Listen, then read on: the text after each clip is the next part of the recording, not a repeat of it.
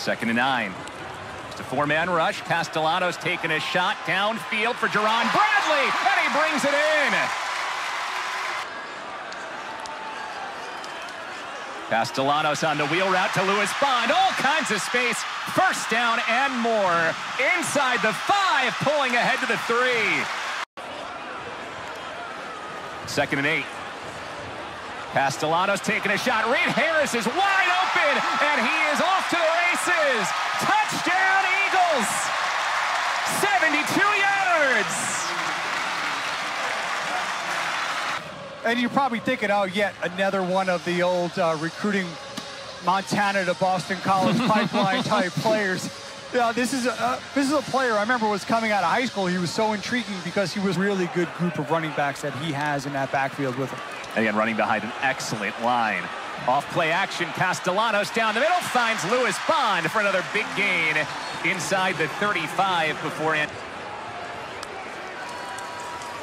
Castellanos throws to the tight end, Kamari Morales, touchdown.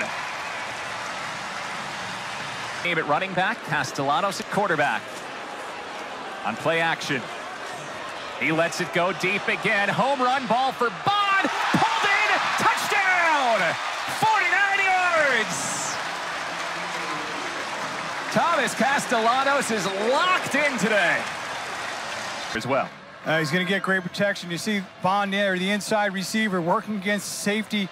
Nice job tracking the football, adjusting to it, and then Castellanos, as you mentioned, he, he's only listed at 5'9", about 195 pounds, but listen, he's got an arm, and he just drives that downfield and just outstanding job.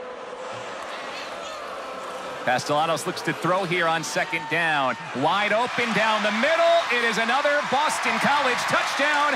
Treshaun Ward out of the backfield. Continues to be a huge threat.